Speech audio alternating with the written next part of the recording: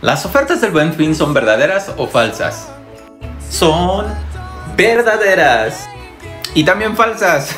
Y por eso hay que comprar de manera inteligente. No se dejen guiar nada más por el descuento que están ofertando.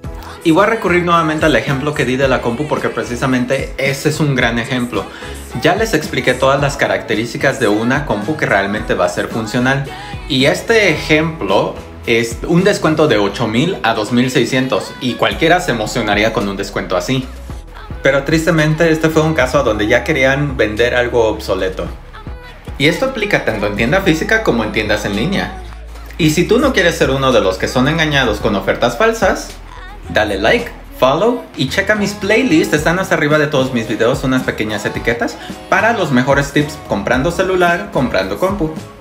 Y de pasadita pásale el chisme a tu mamá y que me siga en YouTube. Porque todos tenemos la duda,